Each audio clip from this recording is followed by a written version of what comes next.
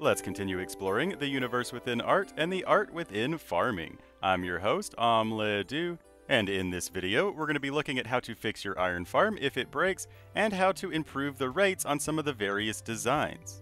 I've also included examples of all of the different designs of iron farm that I typically see people building.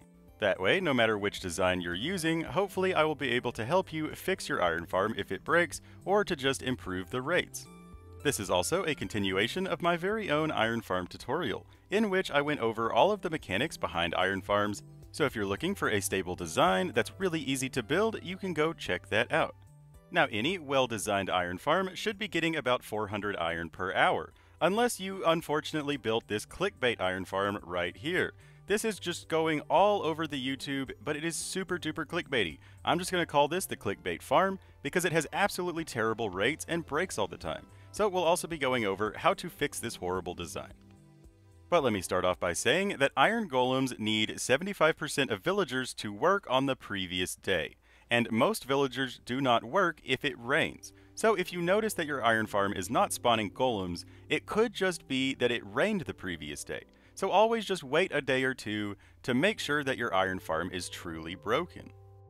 But if you've spent multiple days around your iron farm and it is still not spawning golems, and it's also not spawning cats, then that means it's either the beds or that there are cats and golems in the area. So check the entire area within 64 blocks of your iron farm for beds, cats, and golems. Make sure to kill any cats and golems and destroy any beds in the entire area around your iron farm within 64 blocks. And once you've done that, if it still isn't spawning any golems or cats, you need to go ahead and break and replace all of your beds. And when replacing your beds, make sure to start with the centermost beds. You want the pillow of the first beds that you place to be as close to the center of the farm as you can possibly get them. That is because the village leader will claim one of these beds, and you want his bed to be as centralized as possible to make sure that golems spawn on the platform. And then as for all of the other beds, it doesn't matter where you put them. Just make sure that there are green particles on top of every bed that you place, especially the very first beds that you place that are centralized. Now if your beds are far away from your villagers, or if they're higher than two blocks above their head, the villagers aren't going to want to connect to the beds. They will need some encouragement. Now generally, as long as one villager claims a bed, the rest of them will follow suit. So you just kind of need to build a platform or transport the villagers to be close enough to claim the bed. Now this doesn't seem to be an exact science, but I will say that villagers always connect to beds if there's only three blocks of air from the floor to the bed.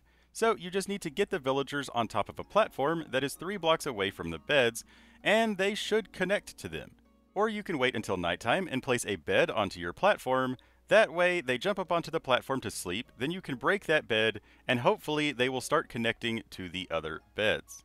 And this is why I highly, highly recommend placing your beds only two blocks above the villagers and no more. This makes sure that it's really easy for the villagers to connect to the beds without you having to move them around.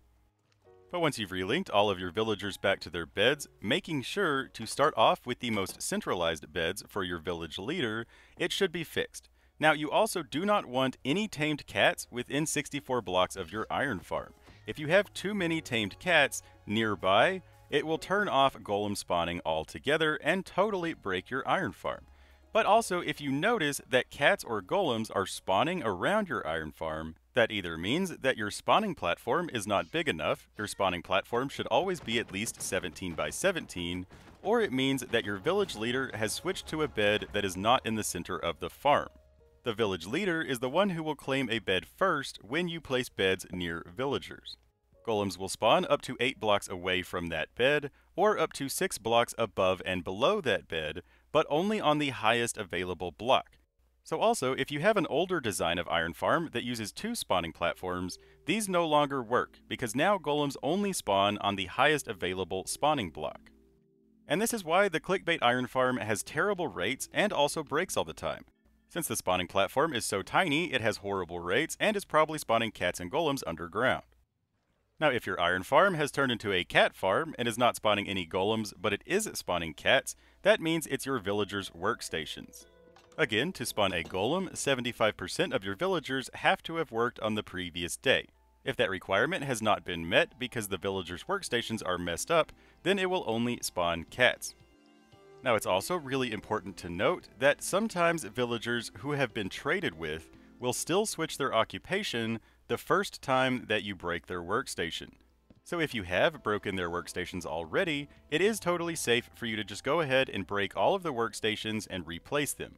But if you have never broken the workstations before, what I would recommend is just releasing the villagers from their cells and letting them go to the workstation that they are trying to work at and then retrap them into that cell. This will also show you what other villagers have the incorrect workstation or the incorrect cell. And so while they're trying to work, all you have to do is nudge them into their cell and then trap them in. And there are a few ways that you can help prevent them from switching workstations or from switching beds, which I will talk about here in a minute. But the most important thing is to have traded with them at least one time. If you don't trade with them at least once, they will just constantly switch workstations whenever they feel like it. And this is especially important on this design that uses two teeny tiny cells. You know, not only is it hard to get the villagers in there, but you need to have made sure that you traded with them first. And we will talk more about how to fix that design if it breaks here in just a little bit. But if you don't want to release the villagers and you're not worried about them switching occupations or resetting their trades, you can simply break all of the workstations that are broken and then place one down and see who wants that workstation. Then break it and give it to that villager. The same villager will claim the same workstation each time in the same order. So you just place down one, see who wants it, and then give it to that villager. And there are a couple of things that you can do to help prevent them from switching workstations or switching beds one of which is trapping them in a minecart. Now, I don't like doing this because I don't like using minecarts, because minecarts are laggy because they count as entities, you know, but you can also flood the villagers' feet. You know, I have done this before, and it did seem to help. I think the reason that this works is that it messes with their pathfinding, so rather than constantly looking for a new bed or a new workstation, you know, they're more worried about not drowning. You know, but them bouncing up and down can add to lag, and it can also make it more difficult for them to work at their workstation. So I would recommend placing a block directly above their head, just so that they're not bouncing around all the time. But now onto the fixes for this design that uses these teeny tiny cells with the villagers all trapped in a one by one. Basically, if their workstations get messed up, you're pretty much going to need to build them a bigger box, because trying to do one workstation at a time is just really difficult and is going to give you lots of trouble. So what I recommend is expanding their box. You know, be sure to use like leaves as the floor so that you don't spawn golems inside of their box or cats. You know, and then just kind of build a box around these one by one cells and then we're going to replace the workstations. Now, I, I really do not like this design unless you're stacking iron farms. If you're stacking iron farms, you know, you kind of need to do it this way to some extent you know, but if you're not stacking iron farms, it's a lot more effort to get the villagers into a one by one, and then you can't even trade with them. So it's like you're spending more effort for less value. You know, so I'm not a big fan of this design, but to fix it, you need to build a bigger box on both of these cells, and then break every single workstation, and then start placing the workstations one by one into the walls of the new bigger boxes that you built, and make sure that a villager from that box accepts that workstation. If a villager from that box does not accept that workstation, then put the workstation on the other box. And you also need to make sure to trade with all of these villagers at least one time, or they're just going to constantly shuffle their workstation. And the reason I didn't go ahead and break the other box like you need to is because there's one other way that you can fix this that I would actually recommend more than building a bigger box. But if you want to keep it the same design where you can't really trade with them, you know, after making bigger boxes and destroying every single workstation, again, just start placing workstations one by one and give them to the box that wants it. Once all of the workstations have been claimed and are on the correct box, it should start spawning golems again. But there's actually an easy way to convert this farm into a village trader. Village traders are not only easier to fix if they break, but also you can trade with them. You know, start off by removing your lava trap, remove your campfires. You know, regardless of what kind of kill chamber you're using, just turn it off momentarily. And then we need to build a house for the villagers to live in, five blocks underneath the farm. That is five blocks of air between the bottom of the farm and the floor. And you'll want to place down a water bucket so that they don't take fall damage and then temporarily break out your collection system. And now all we have to do is if these cells are above the farm, you just let them out and they will drain into your new house for them. Now, if they're kind of over the edge a little bit, you may need to build like a little catching area and funnel them into the farm. You know, so build like a little water slide to catch the villagers and then funnel them into the farm to get drained into their new house. And again, you will want to trade with every villager. This will help prevent them from flip-flopping their workstations. You know, but if you funnel all 20 of them down into the same room, that won't really matter. You know, now if your beds are still linked, you shouldn't have any problems. But if your beds get unlinked, the reason I said build this five blocks underneath the farm is so that if you need to, you can replace the beds and they will link up without having to do any extra work. So to have everything link up nicely, the beds need to be one block above the villagers' heads. This means that the villagers can only have a two block tall house within a roof of either solid blocks or slabs, and then the beds on top of that. Now the beds themselves just need to be within 6 blocks underneath the spawning platform. You know, golems will spawn up to 6 blocks above the leader's bed. You know, but for villagers to easily link to the beds, the beds need to be within 2 blocks of the villager's head. And again, start off by placing the beds at the centermost place so that the pillows of the beds are going to be surrounding the hopper that is your collection system. You always want the first bed that's claimed to be as centralized as possible. But you know, if, if it's still spawning cats before you place the bottom beds, then you don't need them. You know, they're still linked to the top beds, and they should stay that way. You know, so as long as it's still spawning cats and stuff, you know, it is totally, totally fine. But you just need to replace your killing chamber, and then you just need to place their workstations, you know, so that they can actually work. You know, so if you're just building a box and you don't want to trap them into individual cells, you can just build the walls out of workstations, you know, and they will wander to their workstation whenever they need to. Or you could go ahead and start trapping them all into their individual cells if you want to. It is all totally up to you. If you want advice on trapping them into their cells, check out my Iron Farm tutorial where I go over advice on how to easily do that. But either way, now all you have to do is build some sort of entrance where they can't get out, but you can get in, and you'll be able to trade with them now instead of just having an iron farm. I always, always recommend having a village trader of some kind with your iron farm.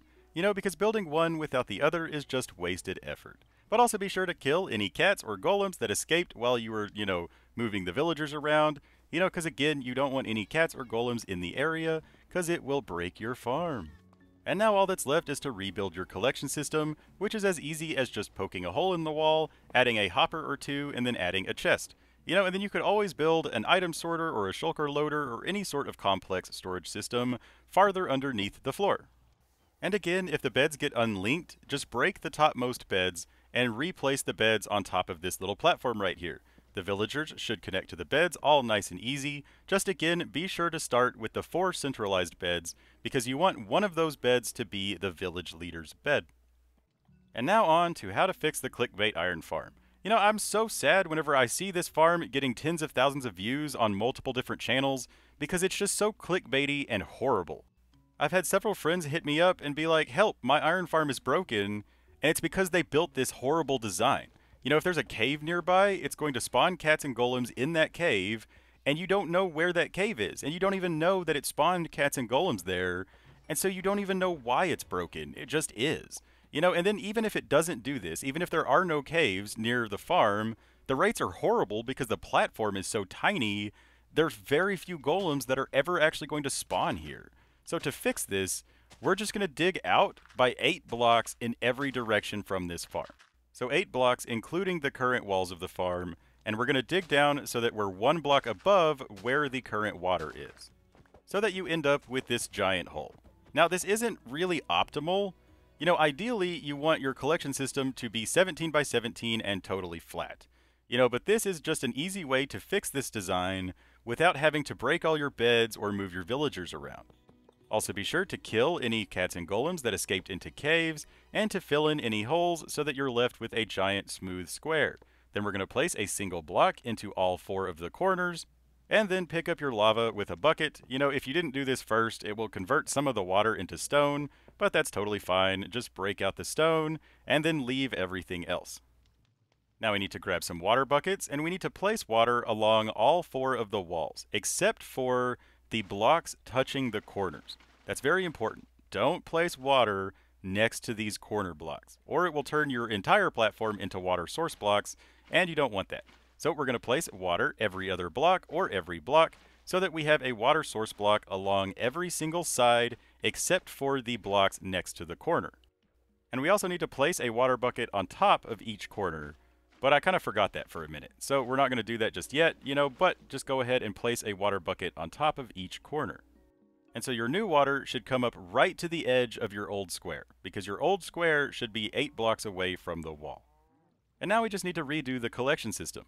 I would also recommend placing some temporary blocks to block out the water so that the water doesn't push you around, but we're going to place a sign above the sign that's in the hole, and then a sign coming off of that that's above your old square, then a sign on top of that one, and then we're going to make a circle of signs coming off of that. So we're going to place three signs on this side, then we're going to place one sign in the middle right here, then we're going to place three more signs on this side. And this is so that we can, you know, trap in the lava so that it's floating above that middle sign right there. So the very top section should have eight signs, then the layer under that should have two signs, then you'll have a single sign on the wall underneath that. And also make sure that none of the signs are blocking any of the top water. The only space without water is the hole. And then if you placed temporary blocks to block the water, break out those temporary blocks, and we also need to place the water on top of each corner that I almost forgot to do. But that's it. Now the farm is should be fixed. It should never break. All the villagers and the beds and the collection system will remain the same. You know, you may need to dig a new access point to get to them, but other than that, it should now just work without ever breaking. And the rates will be better, but they won't be ideal. And that is because since they go down one block into your old kill chamber, the cats especially are going to fight it. They're going to jump up that block constantly and not end up going in the hole. You know, ideally, you want your spawning platform to be flat. You know, the ideal spawning platform is a 17 by 17 platform that is totally flat so that they never try to fight going into the kill chamber. But I just wanted to give you an easy way that you can fix that design so that it stops breaking. It'll still have pretty good rates, it just won't be ideal. Now, you could always just redo the entire farm. You know, you already have villagers in the hole, so all you really have to do is break all the beds, make sure that the leader's bed is centralized, and then fix the spawning platform so that it's 17 by 17 and totally flat, with a hole directly in the center. But also, speaking of rates, if your iron farm has this sort of kill chamber, you can actually improve the rates ever so slightly by changing the kill chamber. This is how I used to build my iron farms, and I would notice that sometimes golems or sometimes cats would, would just stand on the edge and try not to fall into the hole. You know, this didn't happen this time, so maybe it's, it's not as prevalent. You know, but if you're getting less than 400 iron per hour, then I recommend just switching out this kill chamber. So if your spawn platform is 18 by 18, we just need to make it 17 by 17. So build a wall on two of the sides, then place the blocks in the corner, and then place two blocks next to the corner block just to get rid of the water. So we're going to place a block up there to get rid of that water, then place a block in the corner, then two blocks next to that to get rid of the water, and then again, block up there, block in the corner, two blocks next to that temporarily to get rid of the water. And now we just need to, you know, build this wall up to match the other one. So go up by one more block, put leaves on top of that. You know, and now we're left with a 17 by 17 platform with a single block in all four corners. And so again, we need to place water on the two sides that we took the water out of, you know, without placing water next to the corner block. We don't want water source blocks on either side of the corner block. And then place a water bucket on top of each corner, and our new spawning platform will basically be done. Oh, and if you don't want your lava turning into obsidian, you might want to, you know, pick it up with a bucket first. You know, but then we're going to fill in this centermost point, and we should have a one block that doesn't have any water on it. And that's where our new collection system is going to be with our kill chamber above it. And as always, I would recommend placing temporary blocks to block the water so that it doesn't push you into the hole. You know, but we do need to get rid of the campfires and stuff that is in the hole, and then go up by a hopper or two so that the campfire is higher so the cats have less way to fall. But we also need to make sure to surround the campfire in blocks so that the cats can't escape. And so you'll be left with a one by one hole with a hopper that is two or three blocks down the hole. And we're going to place a campfire on top of that hopper, of course. You know, but first we need to place our signs to hold our lava up there, and that smoke is kind of intrusive. So we're going to place a sign in the hole, but I also recommend placing temporary blocks so that the water doesn't push you around. But then we're going to go up by two more signs. So place one on top of the one in the hole, and then place another one on top of that. You will have to crouch to place signs next to each other or on top of each other. But then on that topmost sign, we're going to place four signs going off in each orthogonal direction. So the front, the back, the left, and the right. And then on those four signs surrounding the middle one, we're going to go up by one more sign so that we're left with an air block in the middle that we can place lava on top of the middle sign like so. Now if you're having trouble aiming at the top of the signs, you can always pillar up. This will give you a bigger hitbox to aim at so that it's easier to place signs on top of each other. And then all that's left is to break out our temporary blocks and replace our campfire so that we kill the cats that fall in the hole, and then we're done. So really when it comes to rates, you have when are your golems dying? You want them dying on the platform and not fighting to fall in a hole. You know, two, how big is your platform? How many spawn points are there? You want it at least to be 17 by 17, but you also don't want any lips that they can get stuck on. And then three is how many villagers do you have? You know, 20 villagers can only spawn two golems, where 30 villagers will occasionally spawn a third golem, but it happens so rarely that there's only a 50 iron per hour difference between 20 and 30 villagers. But then if your farm breaks, remember that it's either your beds or your workstations. And I almost forgot to mention, but keep lightning away from your villagers. You know, if lightning strikes near your villagers, it will turn them into witches. You know, so if you're building these farms above ground, be sure to have some lightning rods around in the area to prevent lightning from hitting your villagers. I don't know exactly how lightning rods work. I have done hours and hours of research trying to figure it out, and I just can't figure out the specific details of lightning rods. You know, so just put some lightning rods at least four blocks away from your walls, keep them away from the leaves of your farm, you know, or you could always build a platform out of glass way up at build limit. It is totally up to you, just keep lightning away from your villagers. But that's all we got for this video. I really hope you enjoyed it. If you did, don't forget to like, favorite, share, and subscribe, and leave a comment. Even if you don't know what to say, just tell me hi. I would love to hear from you. And as always, if you have any questions or requests, simply let me know down in the comments and I will do my best to help you out. And in the video description is a link to my Discord. You can join that Minecraft community to share pictures of your builds, find players to play with, find worlds to play in, or really anything Minecraft related that you would like to do. So I hope to see you there, and I hope to see you down in the comments as well. You know, and a big shout out to all of my subscribers and all of my supporters. It is because of all of you that I can continue making these videos. You know, I just make these to help people out, so I really hope they help you out. You mean the world to me, and I really appreciate all of your support. And if you're new to the channel or not subscribed, be sure to check out some of my other videos. Hopefully there is something there that you will enjoy. But that's all we got for this one, so until next time, I've been your host, Omledu, hopefully teaching you a farming trick or two and reminding you, as always, don't forget to have fun. Bye bye!